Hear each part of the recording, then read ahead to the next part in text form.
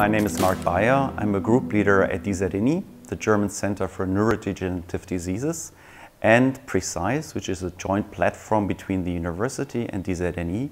And our role within the project has been to look at single-cell transcriptomes and other omics technologies. So single-cell omics is like looking into a smoothie.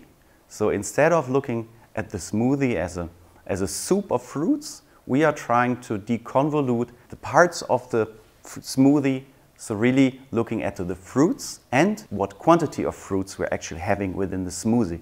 So if you translate that, we're looking into the immune cells in IBD and trying to understand what the roles of the different cells have on a single cell level. The main advantage of single cell omics technologies is that we understand on a cellular level what gene expression differences exist between healthy individuals and diseased individuals. So really being able to look at a single cell and really being able there to understand what pathology is happening within the single cell. One major achievement for us within SYSCID has been the standardization of single-cell omics technologies for an application in a clinical setting. So that's something we are currently doing for IBD. We are also trying to do that for neurodegenerative diseases, and that's been also a big part um, for us in our COVID studies that we've done over the last years. Our work of course, since the pandemic has been influenced by COVID, and that has slowed down our progress of understanding the immune cell contribution to IBD. The achievements we had within SYSCID, so the standardization of these technologies, has helped us to directly use that technology to the emerging crisis of the COVID pandemic.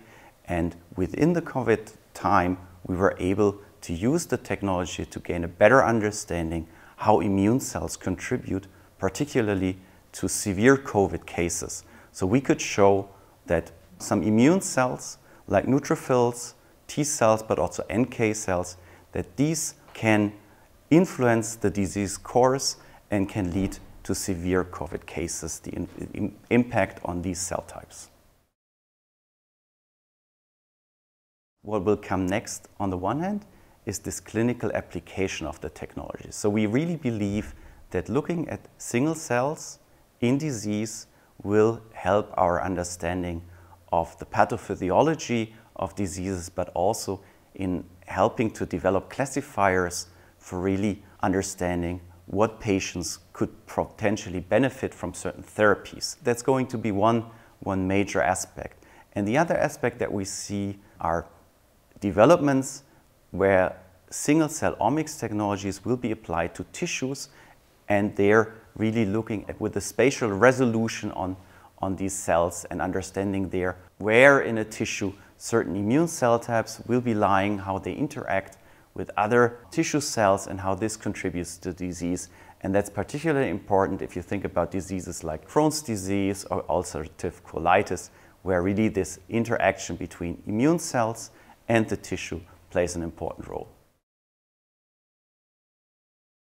For me personally, um, SYSCID has been um, a really nice project because um, we got the chance to work together with a group of excellent scientists over Europe and it helped us in improving the technologies that we have at hand and I think we could also contribute to the project, also to the challenge that was imposed to us with COVID and I hope at the end um, we all can help to improve patient outcome and potentially also develop new therapies um, for patients with IBD.